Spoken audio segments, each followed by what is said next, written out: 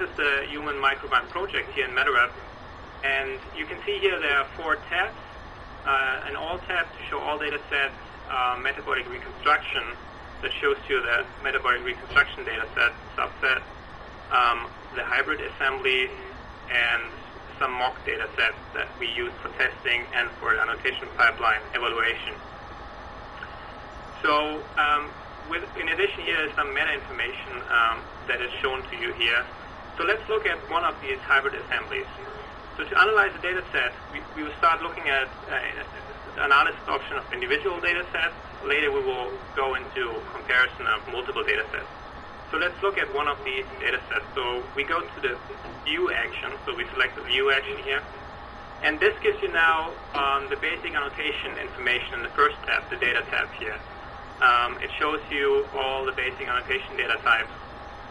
Um, you can scroll down and browse through this. Um, then here, these are all the data types. So let's click on the species. Um, and then you get here, for that data set, you get a species breakdown you get a histogram here. Um, so the unresolved means it could not resolve it on the species taxonomic level. Unassigned means that there was no taxonomic assignment at all. And um, you can adjust here how many um, how many categories you want to have shown, and you can then export this information here to um, in a in a usable format that gives you the absolute and relative counts here for each of these categories. Now you can go on with this and with the other features here as well. So now let's go back and look at a different feature. We use here the navigation up here to go back to the project. Let's look at the search. So how can you search this data set? Let's go here to the search. So by default, it shows you everything. Uh, it searches for all entries. So it gives you here the numbers and the data set hits that have been found. So let's search for cellulase.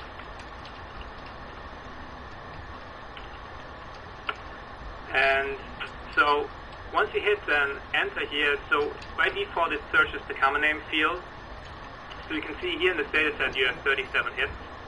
So what, what the uh, search page does is it gives you a first top 10 list um, of these basic data types um, that can be found for this query. So here for cellulase, the, the, top species here after the unresolved categories is the Ruminococcus, for example and, and so forth. Um, so you get the top 10 list, then you get uh, the summary in, in the form of a pie chart um, as well. And at the bottom you see the, um, the results, the annotation results. So you see here the common name, all of them have the cellulase word in. So now you can export this information as well. So you can click on this and um, you get all this uh, top 10 summaries here.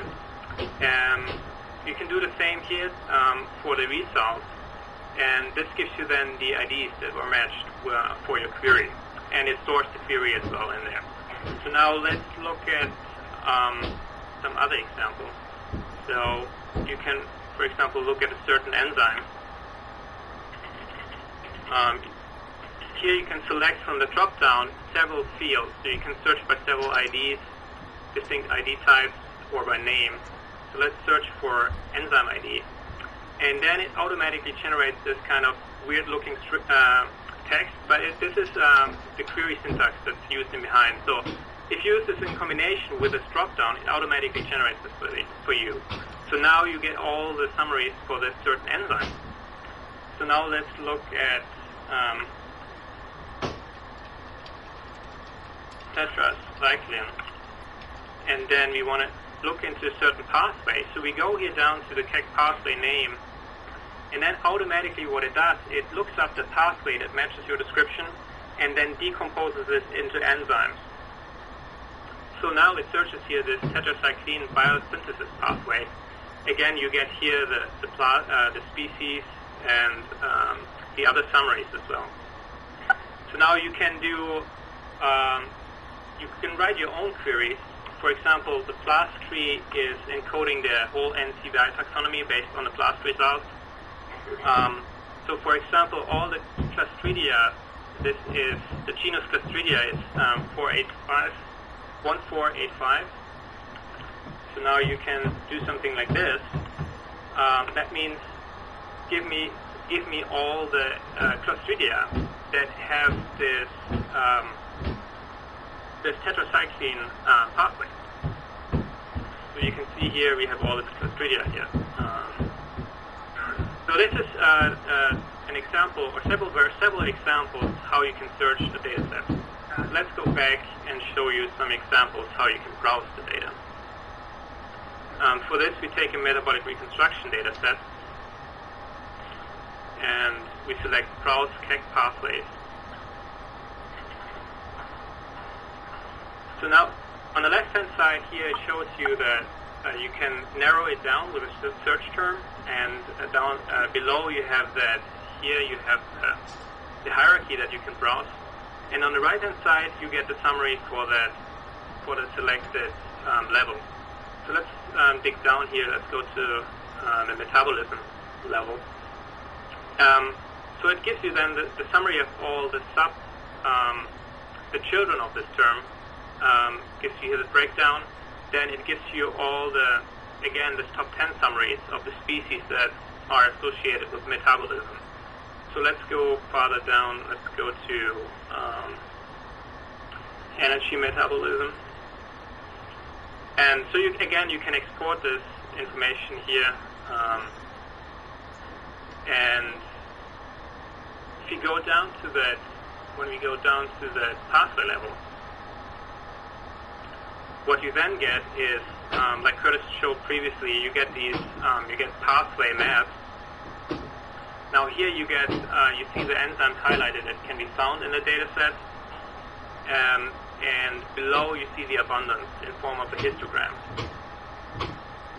Um, so you can export um, these enzymes and the distribution here.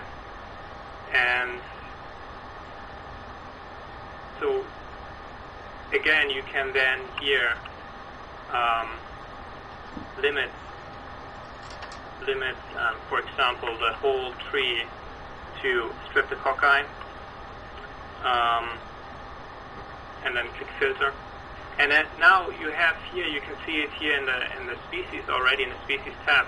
These are all streptococci.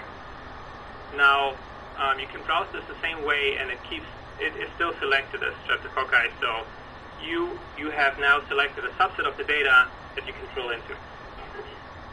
Okay, so let's go back and show you probably most one of the most useful features here is how can you compare, how do you compare multiple data sets? So let's start with some hybrid assembly data sets. Again, we select here the action, select compare. And then here on the right-hand side, you see these are all the data sets that are available. So this include hybrid, mock, and uh, metabolic reconstruction. So we want to narrow this down to the hybrid. So we take HPR in there, and then we have all the hybrid data sets.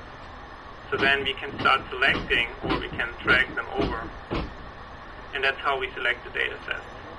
Now we can hit here on the update button and then we get here um, below the result panel where it shows the comparison.